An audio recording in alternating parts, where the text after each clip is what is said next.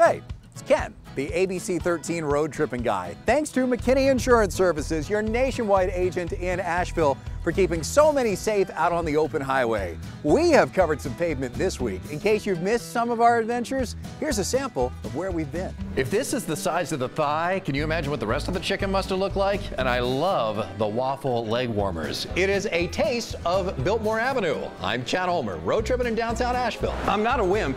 There's a reason I am doing this so slowly. It is a place to get a better you without all the sweat. If you love rock and ribs, this could be your field of dreams. They will cook it.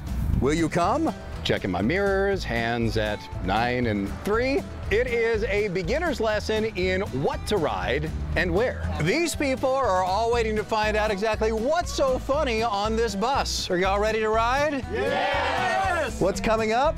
Besides me, a visit to a store that lets you test all those things you see on TV. I'm Chad Holmer, road tripping in Asheville. Thanks again to McKinney Insurance Services, your nationwide agent in Asheville, for coming along with us. You can see our full adventures mornings on News 13 between 6 and 7 a.m. or anytime from the road tripping link at WLOS.com.